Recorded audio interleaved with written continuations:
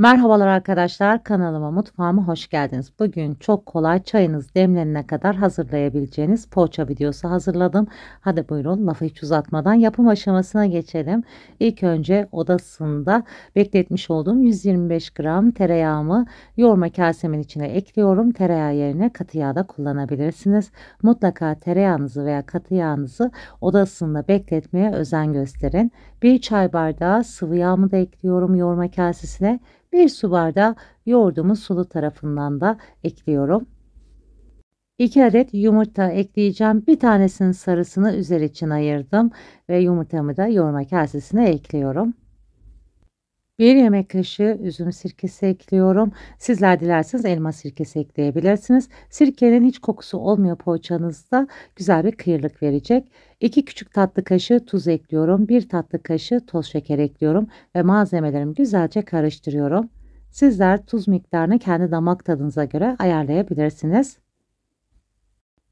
Malzemelerimizi bu aşamada güzelce karıştırdıktan sonra üzerine 1 su bardağı mısır unumu da ekliyorum. Ben bu arada arkadaşlar unumu da yavaş yavaş ekledim. 2 pakette kabartma tozu ekledim. O aşamayı çekememişim. O sebeple kusura bakmayın. Mısır ununu ekledikten sonra 2 paket kabartma tozunuzu da ekleyip yavaş yavaş unumuzu da ekleyerek kıvamlı yumuşak bir hamur elde edene kadar yoğurmaya devam edelim.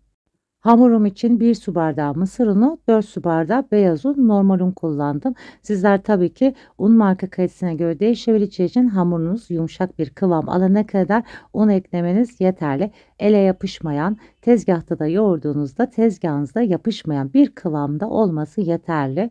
Katı yağ veya tereyağı eklediğinizde hamurunuz kıvamı biraz yoğurdukça kendine gelir. O sebeple hamurunuz yumuşak diye kesinlikle un eklemesi yapmamaya özen gösterin.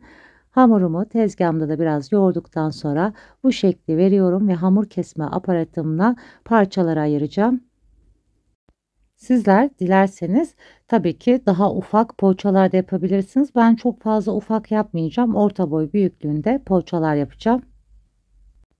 Daha önce bu poğaça tarifinde denemediyseniz mutlaka denemenizi tavsiye ederim arkadaşlar. Çok güzel oluyor. Kesmiş olduğum hamurumun içine de ufak doğramış olduğum kaşar peyniri koyuyorum. Sizler dilerseniz kaşar peyniri yerine kahvaltılık beyaz peyniri de kullanabilirsiniz. Kaşar peyniri ekledikten sonra da elimle şekilleyip güzelce yuvarlak şekil almasını sağlıyorum. Tabii ki sizler dilediğiniz şekilde de yapabilirsiniz. Bu arada arkadaşlar kanalıma hala abone değilseniz abone olmayı, daha güzel tariflerden haberdar olmak için zil sesini açmayı unutmayın. Bu sayede başka güzel yeni tariflerimden anında haberdar olabilirsiniz. Bütün poğaça hamurlarımı şekilledikten sonra yağlı kağıt serilmiş tepsime yerleştiriyorum. Toplamda 19 tane poğaça elde ettim. Sizler tabii ki daha ufak yaparak poğaça hamurunuzu daha fazla poğaça sayısı yapabilirsiniz. Bir adet yumurta sarımın içine çay kaşığının ucuyla pekmez damlatıyorum. Çok fazla pekmez eklememeye özen gösterin. Çay kaşığının ucuyla eklemeniz yeterli olur. Pekmez eklediğinizde yumurtanıza poğaçalarınızın üzeri daha güzel kızarıp parlak görüntü almış olacak. Pekmezle yumurta sarımı güzelce karıştırıyorum ve poğaçaların üzerine her yerine gelecek şekilde yumurta sarısını sürüyorum. Poğaçaların üzerine yumurta sarısı sürerken ben fırınımı bu arada ısıttım. 180 derece alt üst fanlı ayarda. Mutlaka öncesinde 5 dakika ısıtılmış fırına koymaya özen gösterin poğaçalarınızı.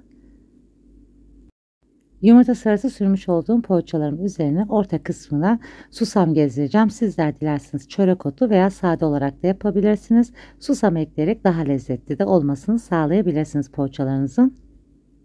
Poğaçalarıma susamlarımı ekledikten sonra bıçak yardımıyla bu şekilde üzerine artı işareti yapıyorum.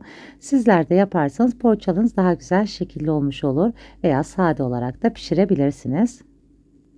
Bıçağı çok fazla bastırmamaya özen gösterelim ki içindeki kaşar peynirleri dışarıya çıkmaması için. Çok derin kesikler yaparsanız pişerken içindeki kaşarlar dışarıya taşma olur.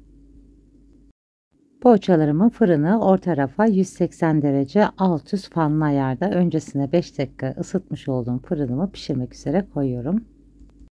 Benim fırınımda toplamda 35-40 dakika kadar zamanda pişti. Tabii ki sizlerin fırınıza göre bu süre değişebilir. Güzelce kızarana kadar pişirmeye özen gösterin. Poğaçalarımın ilk sıcaklığıyla hemen sizlere dokusunu da göstermek istiyorum. Yumuşacık çok lezzetli poğaçalar oldu.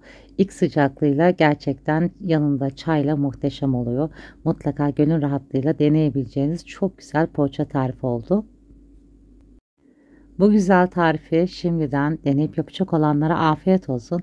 Başka güzel tariflerde görüşmek üzere. Hoşça kalın, sağlıcakla kalın.